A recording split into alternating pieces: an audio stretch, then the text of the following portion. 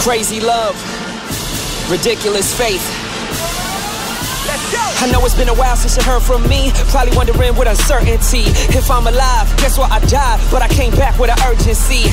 All thanks to a Red Cross, now I'm marching on with a Salvation Army. If you get close enough, you can take a whiff. I bet you smell salvation on me. Lately, I've been soaking up the word. Gotta find time to invest in it. The old me is dead. What you see now is a new living testament. They can't fathom how I could just turn my back like that on the industry. Well, I just turned 30, and that's when Jesus started his ministry.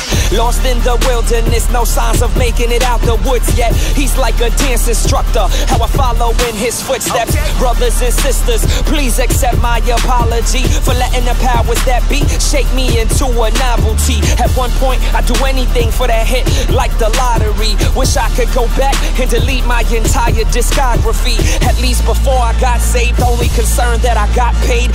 Was purely hip hop slave, digging dirt for my own grave. Leave it up to me, I'd be passing away. But by his grace and his passion is safe. For my sake, he allowed me to start with a clean slate like the first class of the day. The other 99 went that way. I'm that one sheep that went astray. Used to wanna be like Jay, now I'm thinking more along the lines of Cray. See, I realize now that this gift of rhyme was given by my heavenly father. And the truth is, any recognition that we ever got never was ours. I'm praying for you if your future is odd. All I see in my future is God.